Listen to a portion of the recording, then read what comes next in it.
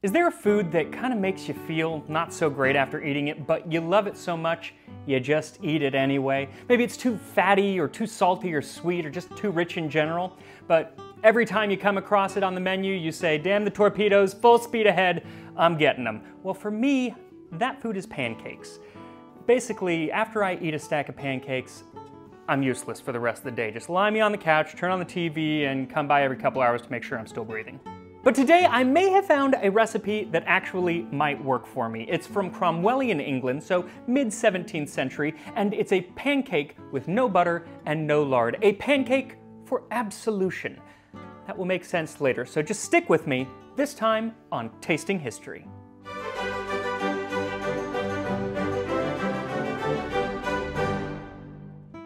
Today's recipe comes from the 1658 cookbook the Compleat Cook, expertly prescribing the most ready ways, whether Italian, Spanish, or French, for dressing of flesh and fish, ordering of sauces, or making of pastry. So I don't usually read the full title of these old cookbooks because as you can see, they tend to go on, but I love this one because how often do you read a title that has curly brackets in it?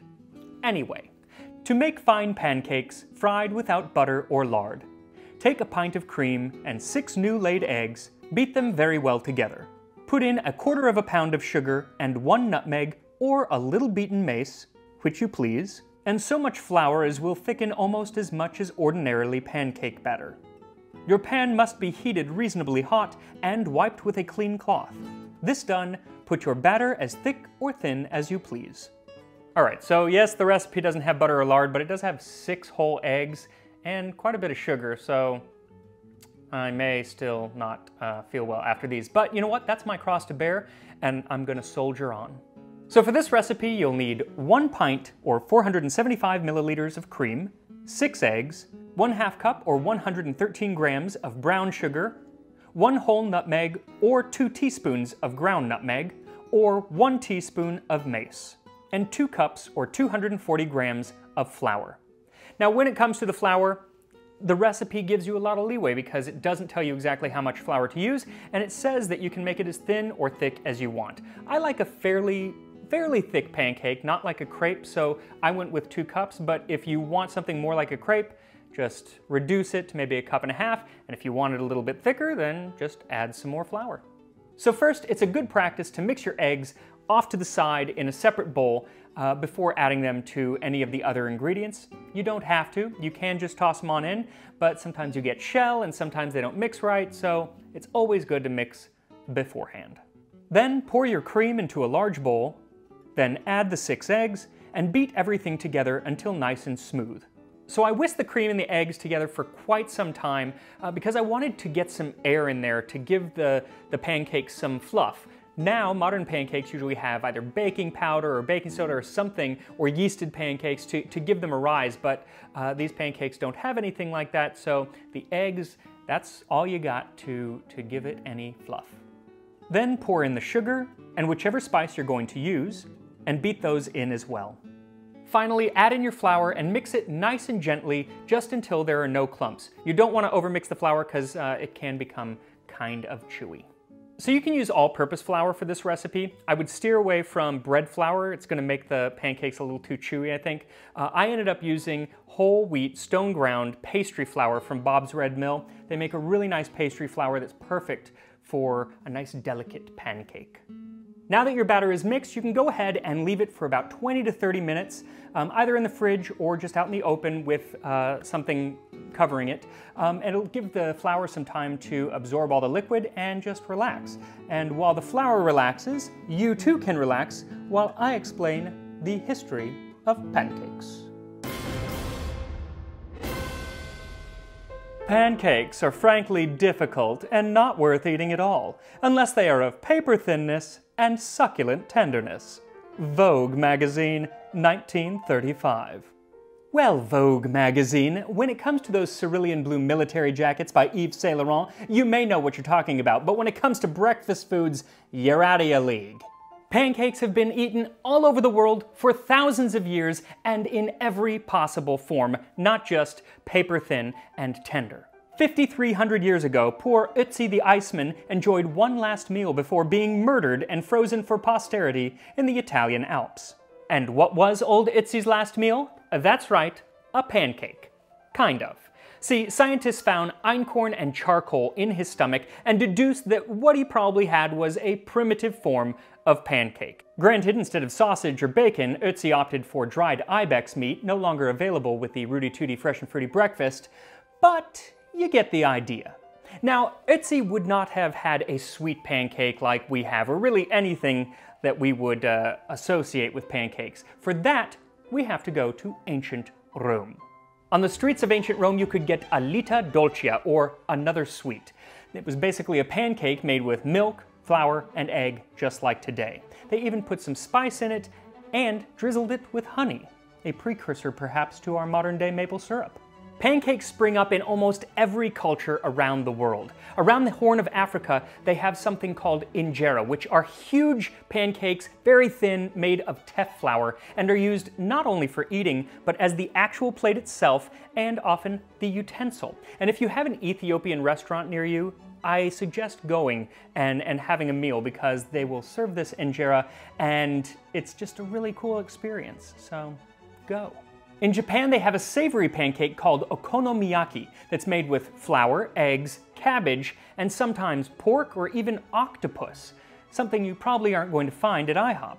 You can find pancakes made of rice called chatamari in Nepal, and in every part of India, they have some form of pancake. There's dosa made with fermented batter or patishapta, which I've always wanted to try. They're stuffed with dates or coconut or a sweet thickened milk. I love that stuff. And speaking of stuffing pancakes, that's a thing everywhere too. Ashkenazi Jews fill blintz with cheese and fruit, and in Hungary they have something called gundel palacsinta, stuffed with walnuts and raisins and topped with chocolate sauce. And sometimes they even put rum in it to flambe it. And flambeing pancakes, well, that's a whole thing too. One of the most famous pancakes in the world, with quite the origin story, started with flambeing. Supposedly, it was in 1895 at the Café de Paris in Monte Carlo when the future King Edward VII was dining with a lovely young woman named Suzette. Then, in the words of their 14 year old assistant waiter, Henri Charpentier, it was quite by accident that the cordials caught fire. I thought I was ruined. The prince and his friends were waiting. How could I begin all over? I tasted it. It was the most delicious melody of sweet flavors I had ever tasted the prince ate the pancakes. He asked me the name of that which he had eaten with so much relish. I told him it was to be called crêpe princesse. Will you, said his majesty, change crêpe princesse to crêpe Suzette? Thus was born and baptized this confection, one taste of which I really believe would reform a cannibal into a civilized gentleman. Who knew cannibalism was so rampant a problem in late 19th century Monaco? But while every culture has their own pancake, I mean, I have like a list of 50 I could have gone into, so I apologize if I skipped over your country, but we'd be here all day. But the actual name pancake comes from English around the 14th or 15th century, about the same time that we start seeing what would become the favored method of fundraising for the Boy Scouts and elementary schools all over the pancake breakfast. Shrove Tuesday, a day to be shriven, or absolved. I told you we'd get back to this. Shrove Tuesday, or Fat Tuesday, or Mardi Gras, was the last day a medieval Englishman or Englishwoman could gorge themselves into oblivion before the 40 days of fasting called Lent. And what better way to gorge yourself than with a pancake breakfast? On the morning of Shrove Tuesday, the whole kingdom is quiet but by that time that the clock strikes eleven, there is a bell rung, called the pancake bell, the sound whereof makes thousands of people distracted and forgetful of manners or of humanity. Then there is a thing called wheaten flour, which the sulphury necromantic cooks do mingle with water, eggs, spice, and other tragical magical enchantments. Then they put it by little and little into a frying pan of boiling suet, where it makes a confused, dismal hissing, like the Lemnian snakes in the reeds of Acheron, Styx, or Phlegethon. Until at last, by the skill of the cooks, it is transformed into the form of a pancake. which ominous incantation the ignorant people do devour very greedily. Now, John Taylor, who wrote that in 1620, did not actually believe that the pancakes were of the devil. It was written with a bit of tongue in cheek, um, kind of mocking the church at the time and, and uh, some other institutions, but I just, I love it. Anyway, after filling their bellies on a pancake breakfast, the town people somehow got up the energy to play games and sports, including one called mob football, which is exactly as it sounds. Then, stuffed and probably battered and bruised a bit, they would make their way to the church to ask for final forgiveness before the 40 days of Lent. Now, while the pancakes we're making today would have come out of this same tradition, I feel like the absence of suet and uh, magical enchantments, for that matter, kind of lifted up out of the muck in the mob football world and into the light, sophisticated pancake that we know today. The kind that takes me 24 hours from which to recover and I can't wait to get back to them. So let's do it. So per that original recipe, you'll need a pan or a griddle wiped with a clean cloth, and then put on the stove about medium heat until it's nice and hot. Once it's hot, rub some cold butter on it just to give it a nice coating, and then dole out your first pancake. Now depending on how thick or thin your batter ended up being, it's going to depend on how long you're going to leave it on the griddle, but really what you're looking for is for the top to uh, go from shiny to matte. And if there are any bubbles, for those bubbles to all have popped. Once that happens, flip it over, leave it on the griddle for about another minute, and then take it off and repeat ad nauseum. This recipe made me about a dozen pretty good sized pancakes, so if you want more, double it, and if you want less, who would want less pancakes? I does not compute. So here we are, our 17th century pancakes. They look gorgeous, they smell amazing, and you can really get that aroma of the, uh, of the mace coming through, which I'm excited to taste. Um, so how do we eat these? We can eat them plain, which was, which was often done. Now, you didn't get like a stack of pancakes, you just got a pancake or two pancakes and you ate them with your hands. Another way to eat them would be there are stories of putting honey on them, or berries, or nuts, um, even sugar or salt, oddly enough.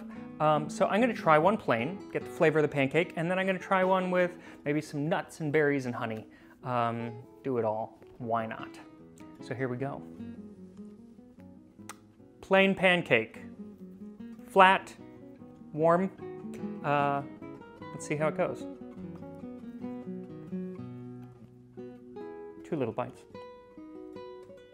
Hmm. So the texture is a lot like a modern pancake, though maybe not like as fluffy, not as airy, but but still very soft and tender. Really, really um, something you'd recognize.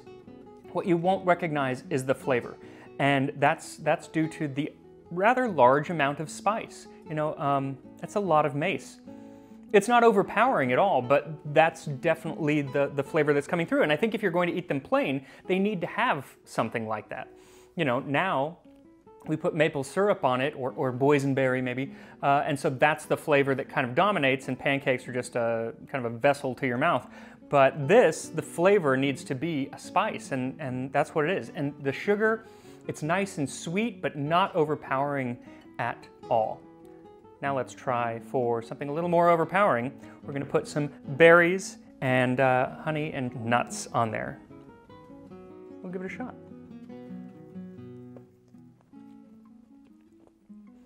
Mmm. I took way too big a bite. okay, so once you add all of the all of the accoutrement uh, to the pancake, they really take over the flavor. You can still taste the the mace, um, but the honey and the, and the berries especially kind of really take over. And I kind of like that. It's a little more complicated. Um, honestly, I might not do all three next time, the, the nuts, the berries, and the honey. Maybe just honey to give it kind of a, a sweet golden flavor, whatever gold tastes like. Uh, or, or just the berries. Um, maybe like a compote actually would be really nice. Anyway, yeah, I love pancakes they're just so good. They were good 400 years ago, and they're still good today. They were probably good when uh, old Ötzi was eating his einkorn pancake before he got murdered.